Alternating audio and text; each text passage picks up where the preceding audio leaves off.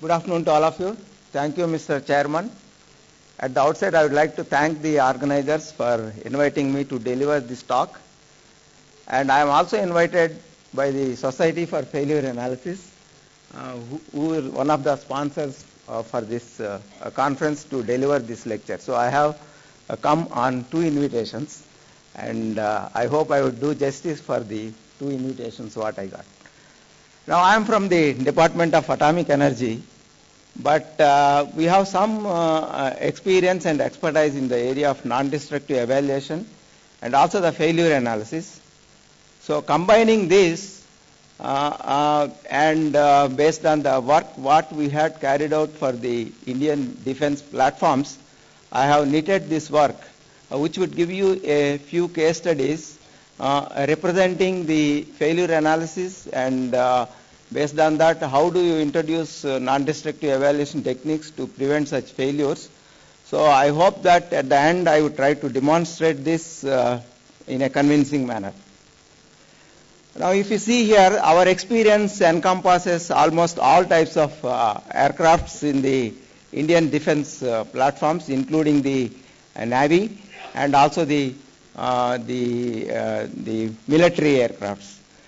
But I have only taken a few examples uh, within the limited time available and I will try to illustrate that uh, how we go about uh, with respect to failure analysis or life extension of the defense aircrafts and then how in an organized way combining the experience of different organizations we go about in a successful manner and then we have completed many life extension programs as part of this process. And uh, obviously we try to identify the failures or the life limiting or critical components while the OEMs provide a certain uh, uh, maintenance or the inspection methodologies when it comes to the life extension, we need to add additional inspections or additional critical components. And then you have to go about how do you do the inspection and then qualify for the life extension. And this is done jointly by the defense wing, the HAL, NAL, CEMILAC, and uh, centers like us uh, who join together based on the combined wisdom and uh, complementary expertise. So we do the root cause analysis of the failures and develop the relevant uh, ND uh, techniques and the calibration procedures. Then subsequently we demonstrate on actual components and then we also train the defense personnel uh, to take care of the further inspection of these uh, either additional components or sometimes the same components with uh, enhanced sensitivity and uh, reliability. And then finally we also recommend some new equipment to be purchased so that the inspection wing has state-of-the-art systems. And sum total, we try to avoid the, the failures or catastrophic incidents. So I try to cover uh, the, some of these uh, things where we have used enhanced uh, inspection techniques for compressor discs to avoid failures and also airframe rivet joints. Then the fatigue damage of the undercarriages uh, uh, with respect to the residual stress measurements and life extension and the regeneration process qualification and also uh, certain failures of the wheel axles, turbine blades and also the uh, the fuselage components with respect to the exfoliation corrosion. So I have taken few case studies to demonstrate. Now if you take this is a classic uh, study where the, the damage tolerance, mean time but between inspections and the failure prevention and uh, sometimes preventing the catastrophic accidents is demonstrated and Professor Bowler also was talking about the inspection intervals damage tolerance. Now what happened is this is the uh, aero engine compressor disc all of us see and then such failures have taken place even in India. Sometime back large number of failures were there. So once we started analyzing this, what we have identified is that uh, the inspection procedure given by the OEM would be able to detect a surface crack length of around 4 millimeters. Now if a crack is of 3.5 millimeters is missed when you do one inspection, then when the mean next time when you do the inspection, this crack would have grown to the critical crack length and then the catastrophic failures have taken place. So what, what was the solution is either you reduce the mean time between inspections then which would bring the, which will increase the downtime of the aircraft or you try to enhance the sensitivity of the defect detection so that you will get a you will detect a smaller size defect. So for the same interval, the crack will not go to critical before you do the next inspection. So that's exactly what we did is we have developed an advanced eddy current based technique where we are not able to detect a 4 mm surface equivalent crack, but a natural 2 mm surface crack which is available in a few of the compressor discs.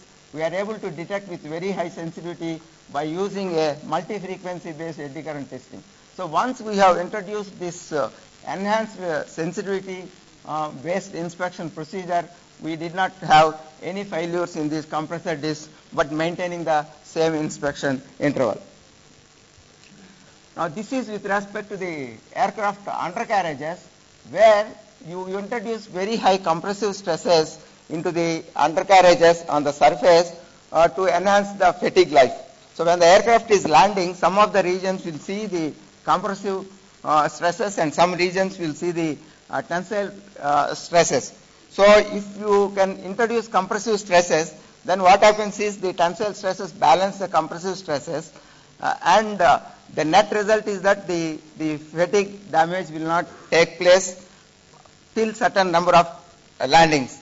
But subsequently the compressive stresses get redistributed and then they become tensile, a crack can initiate and then the failure can take place. So what is done is that we did a systematic investigation with respect to the stress critical parts using the FEM analysis and then these regions the original compressive stresses what you have is around 550 megapascals of compressive stress. And with number of landings uh, we took the landing gears at periodic intervals. And then you can see that the compressive residual stresses slowly change to tensile after a certain number of landings. And once the compressive stresses change to the tensile then superimposed operating tensile stresses will exceed the fatigue limit and then crack can initiate. And these fatigue damage also would confine to the top surface of around 300 microns because if you take a life expired uh, landing gear and then you remove the layer by layer and then make the residual stress measurements, by the time you come to 300 microns, you will see the original high compressive stresses.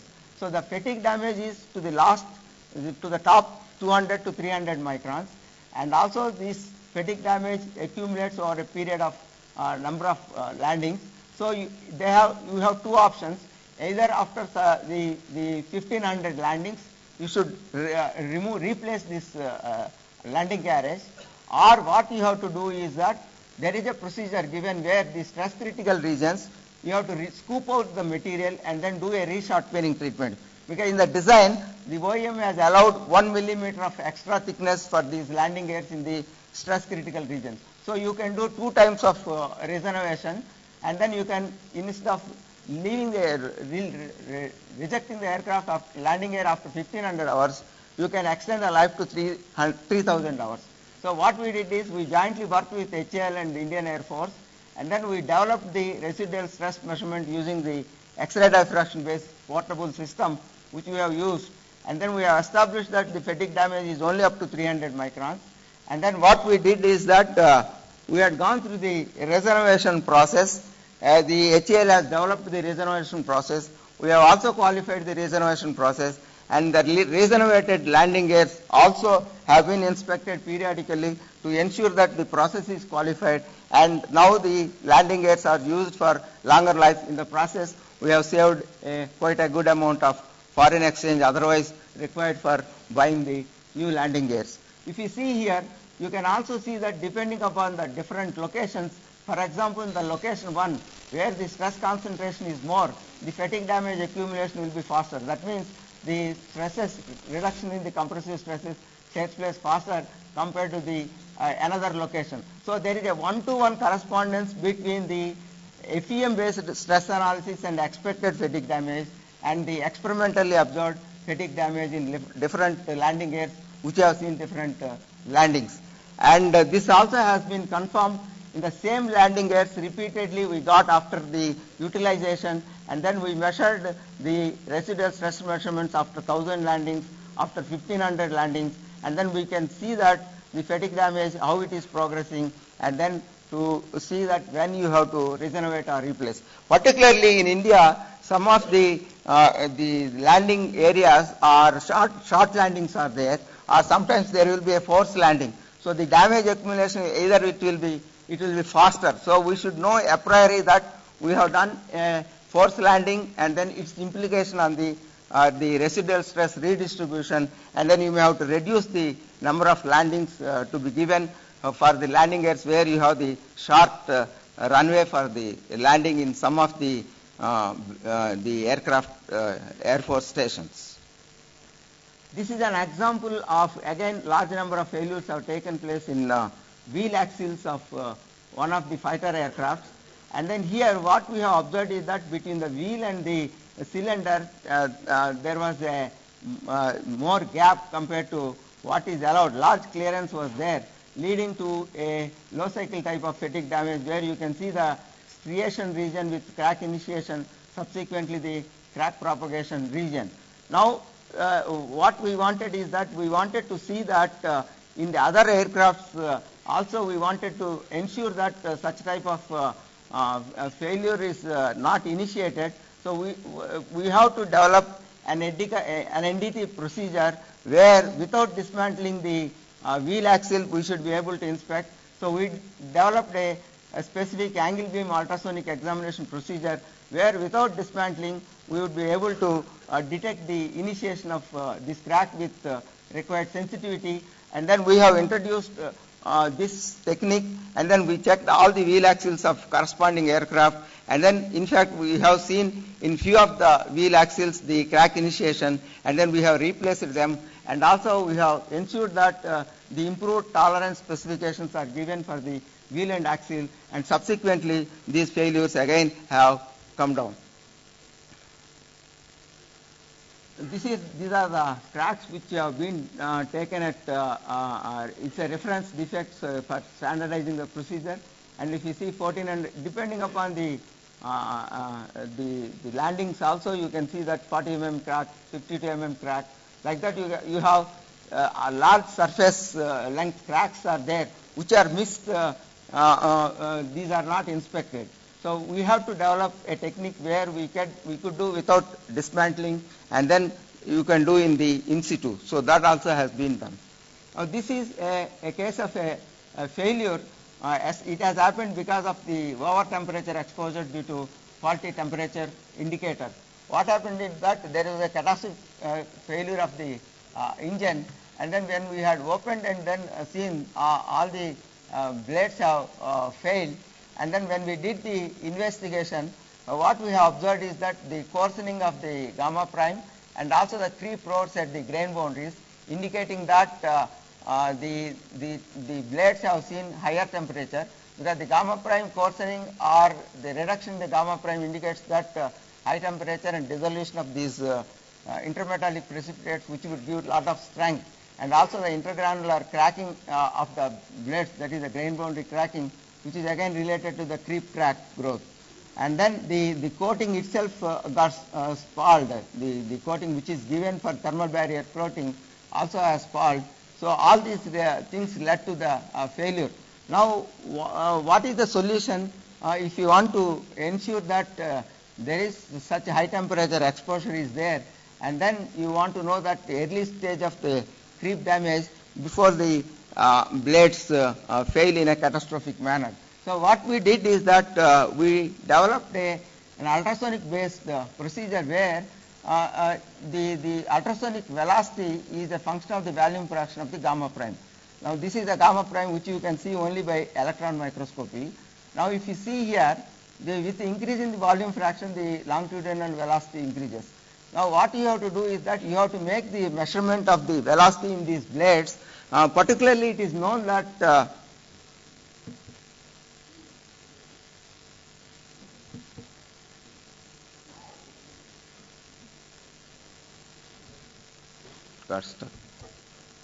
Sorry, uh, particularly what, what, what happens is that if the gamma prime goes into solution because of the higher temperature or the creep cavities uh, uh, come in, in both cases the velocity comes down. So what you have to do is that uh, the, the highest creep damage region is one third from the aerofoil region of the blade. So you have to do the ultrasonic inspection in that region.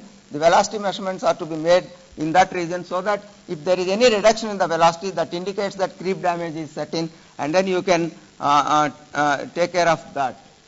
And this is another uh, uh, blade failure where this has taken place because of the hot corrosion. So here you can see that very clearly a, a gamma prime uh, denuded uh, region and also there is a grain boundary cracking and then if you see at a higher magnification you can see the uh, grain boundary cracking. Now once we did the full investigation we have found that uh, the fuel uh, has higher sulfur and also these aircraft was operating in saline environment. The sulfur and also the sodium either from the fuel, fuel we did not see. So the saline environment where it, the aircraft was operating. So this led to the uh, hot corrosion uh, leading to the, uh, the failure. So we have to ensure that uh, the fuel quality is absolutely clean with respect to the sulfur content if you want to use avoid the hot corrosion. Now this is a exfoliation corrosion which has been seen in one of the uh, transport uh, aircrafts in the fuselage region and then we have again did the investigation why this has uh, uh, taken place. And then we in fact we found that the, the, the skin the aluminum alloy which has been used is of inferior quality. It has not gone through a, a proper heat treatment. And then the exfoliation through the intergranular corrosion, uh, we have in fact seen the, the delamination and also the, the copper uh, uh, precipitation which comes out of the uh, intergranular corrosion and then the layer by layer removal of the material and then we could prove that this is by exfoliation and then we have to remove this skin and also you have to do the proper painting and cleanliness of the surface to ensure that the intergranular corrosion uh, through the exfoliation process uh, uh, doesn't take place. Now this is another case where as, there were accidents with respect to the rivet failures in a catastrophic manner. And then we were asked to develop suitable NDT technique uh, for finding the uh, rivet cracks. And also if there is a corrosion takes place then we also should be able to know whether there are only the fatigue cracks or there is a, corrosion associated with it uh, because once the rivet gets loosened uh, the moisture can enter and then there can be a, a corrosion. So what we did is that we took the uh, calibration panels and then we have introduced uh, different grooves in these uh, rivets before uh, riveting them into the calibration specimens and also some of these grooves have filled with uh, the aluminum uh, uh, oxide, the corrosion product which has been taken from actual aircraft uh, uh, uh, corroded rivets and then we have filled those products. And then we did a neutron radiography because neutron radiography will give you the corrosion product which has mixed with araldite very clearly. To ensure that we have in fact the rivets with cracks and also the rivets with cracks filled with the the, the, the oxide corrosion product. And then we did uh, uh, use this panel uh, with full quantification to establish an eddy current based, in fact this is a Uh, failed aircraft uh, uh, structure where neutron radiography has been done. You can see the corrosion products. You can also see the rivet corrosion which is taking place here. So this can come out very clearly by using neutron radiography using a reactor based system but this is only for the calibration purpose, but the actual inspection, sorry. So I think I missed one slide. So back is not going. The actual inspection, the button is problem. This PC is having problem. Next one. Okay. Previous. Okay. So what we did is that. Uh, uh, we have uh, done a eddy current based technique where we could make an excellent relation between volume fraction of the rivet material loss with respect to the eddy current signal. So that has indicated that what is the rivet corrosion loss that has taken place and then we could uh, inspect the rivets and then we could establish that the rivets have corrosion or not as a go no go basis and then that also has been implemented. Now this is with respect to the light combat aircraft, uh, the, the internally cooled uh, blade development that is taken up at uh, DMRL. Now if you see that uh, this is a very good blade where the ceramic core is completely leached out. Whereas here you can see that the ceramic core is still present. Now, if this core is there, then during the engine operation, this will be a hot spot, and then the blade can prematurely fail you. So, uh, the, the, as part of the engine, blade development program, we have developed the neutron radiography based uh, inspection because the ceramic core, if you use the conventional X-ray, the sensitivity will be very less for uh, detection of this ceramic core because the absorption of the X-rays in the uh, nickel based alloy is much more compared to the ceramic core and you won't get the contrast whereas neutrons would have a very high contrast. Ceramic would have a very high absorption compared to the steel or the nickel based alloy. So you could get a very good contrast. So for qualifying these blades that no residual core is left out, the neutron radiography based inspection is done for qualifying these blades. Now this is uh, a, a, missile uh, casing. What happened is that uh, uh when the the material is uh, uh, imported during the high seas, the seawater entered, and then there was concern with respect to the seawater-based corrosion of this casing material. But the casing material has been used for fabrication, and then casings have been made. And then what was required is that even if small amount of corrosion is there, whether the casings would uh, withstand the pressure test so that these can be used for the missiles. So what we did is that uh, we did the acoustic emission testing as part of the uh, the hydro test and then we qualified these uh, uh, missile casings that uh, the corrosion is not of a concern. But what I would like to sh show a more important information is that this is a three segment casing and then the three segments are joined by a joint configuration with a uh, tight uh, uh, dovetail uh, pin.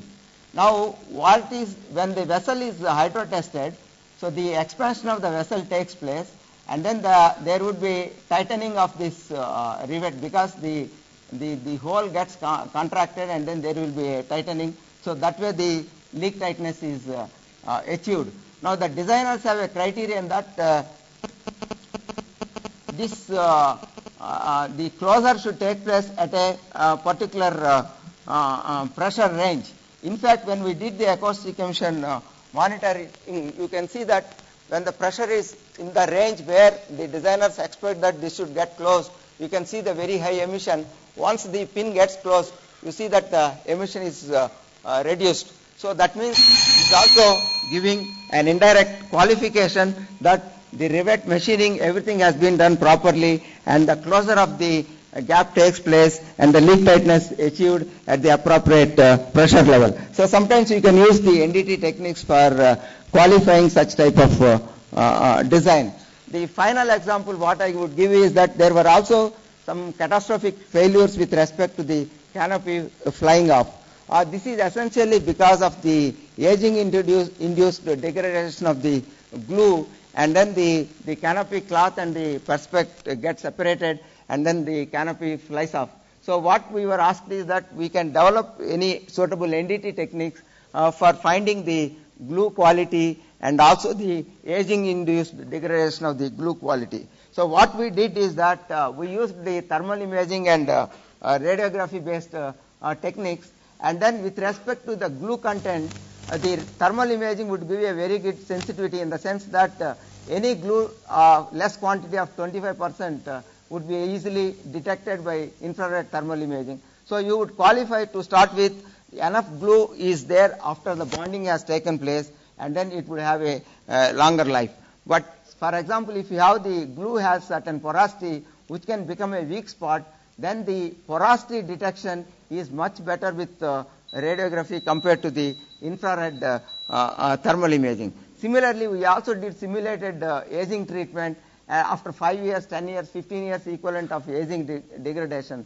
And if you see the thermal imaging, the decay pattern will indicate that uh, when the aging is uh, taking place and degradation takes place, the thermal decay would be very fast and then the slope of the uh, the curve, how the temperature is dropping after giving a stimulus uh, to this joint uh, will indicate the extent of degradation and this also has been established using two techniques for qualifying the um, glue, glue, bonding. And subsequently we have also uh, uh identified various techni advanced techniques for uh, inspection of various components, be it uh, engine related or structure related or landing gear related uh, to ensure that uh, very high integrity for these aircrafts. Thank you very much for your attention. Thank you, Jay Kumar.